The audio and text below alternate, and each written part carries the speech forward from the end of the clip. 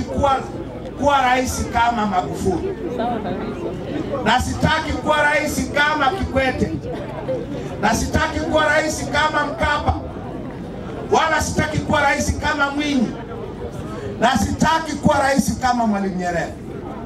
Sasa kwa sababu watu wanauliza uliza, naomba niseme kwa nini. Tuna katiba ambayo msingi wake ni rais, kila kitu ni rais. Matokeo ya katiba hii ni kwamba nchi nzima hii wananchi tumenyang'anywa mamlaka.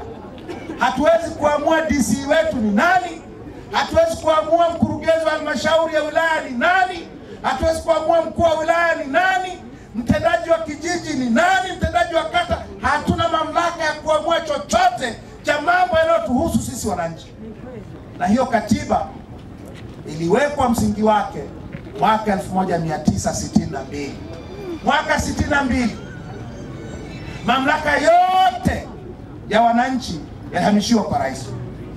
Sasa na Mwalimu Nyerere mwenyewe, ndio maana nimesema sitaki kuwa rais wa aina hiyo.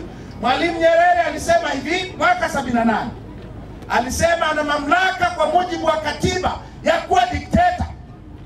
Mimi sitaki kuwa rais mwenye mamlaka ya kidikteta. Nataka kuwa rais wa katiba mpya, rais atakayeleta katiba mpya itakayorudisha mamlaka kwa wananchi, ili mkiamua mnataka shule mjenge shule, ili mkiamua mnataka maji safi na salama ya kunywa msiende kuombaomba Dar es Salaam.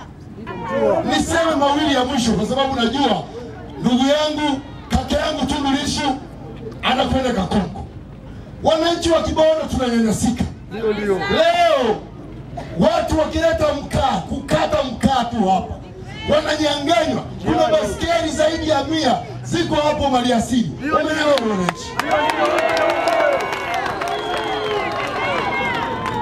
Leo biashara ya dagaa imekufa.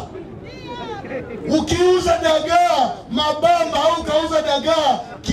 Kibondo ni sawa na mtu anayeuza bangi. Peoples, tuna mateso, tuna manyanyaso mengi.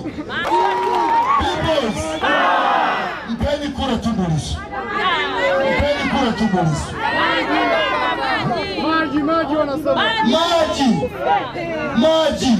Mheshimiwa Rais, hawa watu wametudanganya mno, wamechukua eti wanakwenda maji ya kusambaza kwenye mji wote huu, wanataka kuchimba maji ya kwenye kisima, jambo ambalo haiwezekani. Maji ya kisima ya supply population kubwa kama hii ya mji wa Kibondo.